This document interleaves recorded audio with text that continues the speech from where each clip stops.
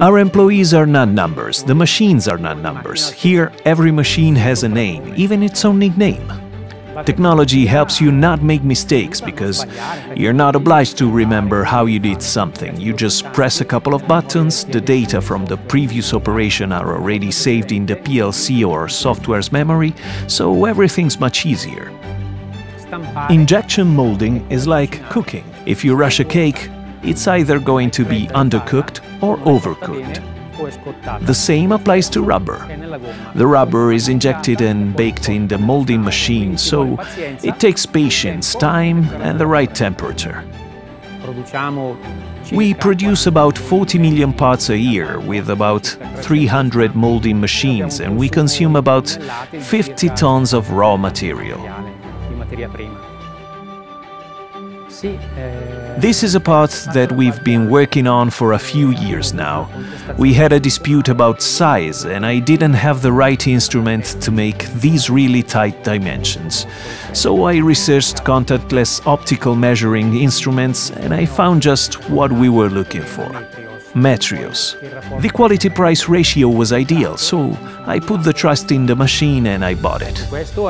This is a 40 Shore Platinum Silicone, so if we measure it with a calipers, you could flatten it too much or too little and end up with different measurements. Instead, if we use Metrios, I simply place the piece and any operator can pull up the program and carry out the measurements without making any mistakes. It has to look good too. Cleaning is important, as are the mold fastening finishings. It's subject to very delicate cryogenic finishing process to prevent it from being damaged. Having such a high-tech machine means that we were able to configure it with 4.0 industry regulations, so it's connected to our management system and all the statistics are imported from the system and can be consulted on any computer at any time.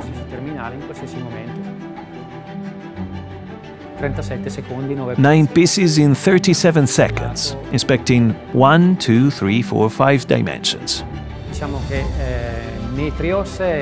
Metrios is a guarantee and it gives us peace of mind because all the dimensions that we detect, we save. And all the data can be shown to the customer if necessary.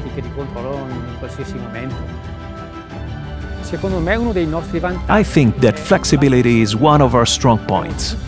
All our processes are in-house, so there's no risk of delays or non-conforming materials. We follow the entire process from start to finish.